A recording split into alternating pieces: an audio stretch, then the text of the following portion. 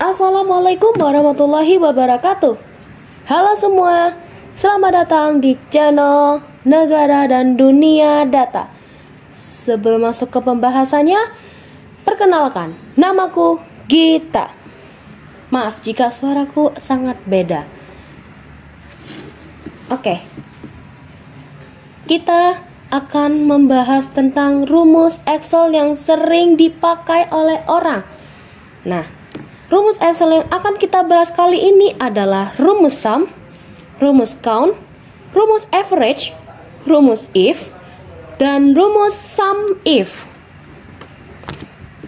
Oke, kita masuk ke tujuannya terlebih dahulu. Tujuan rumus Excel ini apa sih?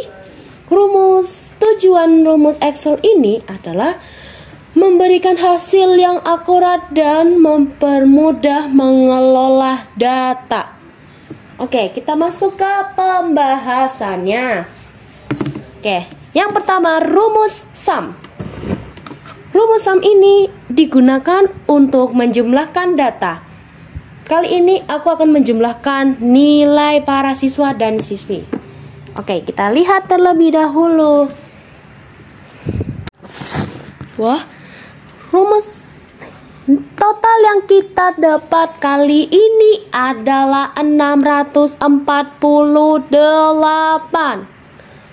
Oke, kita masuk ke rumus yang kedua yaitu count.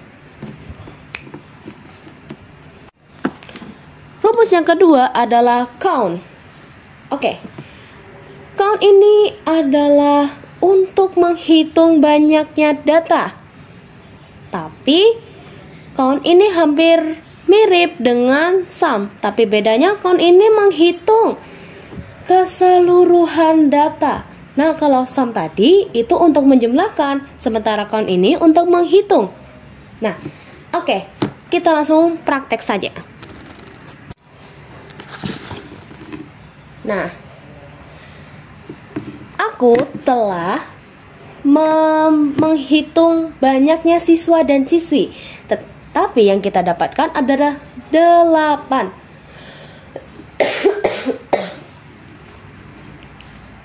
Rumus yang kedua adalah average. Rumus average ini adalah untuk mencari rata-rata nilai. Atau bisa bilang mencari rata-rata data. Oke, aku akan mencari rata-rata nilai dari siswa dan siswi ini. Oke, perhatikan dengan baik-baik. Oke, rata-rata yang kita dapatkan adalah 81. Oke, kita masuk ke rumus yang keempat yaitu rumus if.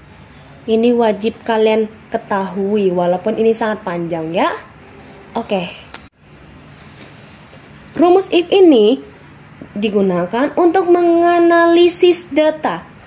Biasanya if ini untuk digunakan uh, me menganalisis data lulus atau tidak lulus, benar atau salah. Oke, kali ini di kali ini aku akan melihat nilai mereka siapa yang lulus, siapa yang tidak lulus. Oke. Langsung saja kita praktek. Oke. Setelah kita menganalisis data-data kelulusan ini, ternyata banyak yang tidak lulus. Akan tetapi ada tetapi sedikit sekali untuk lulus. Yang tidak lulus ini mendapatkan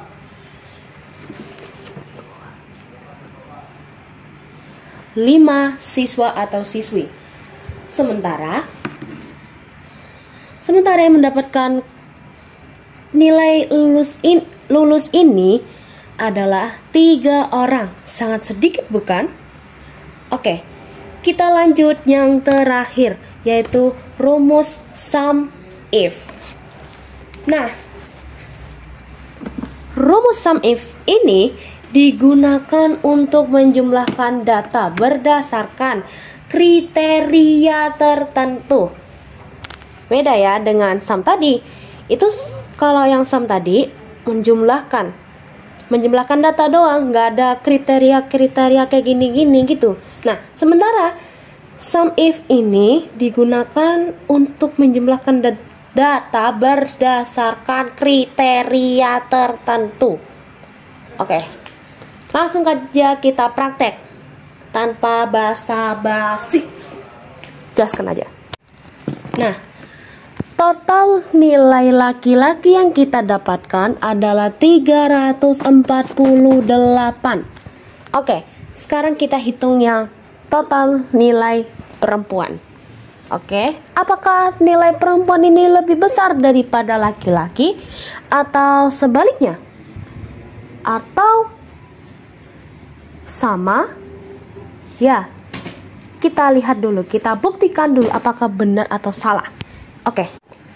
Ternyata nilai perempuan ini sangatlah sedikit dibandingkan laki-laki.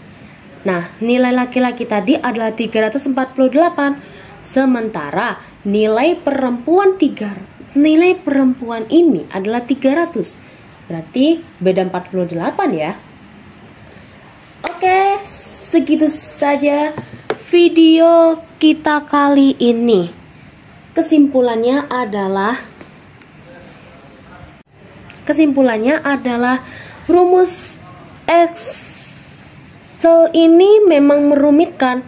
Tapi jika kalian terus belajar, belajar, belajar tanpa henti dan terus bekerja keras, maka kalian bisa menguasai Excel selain Excel yang kita pelajari kali ini.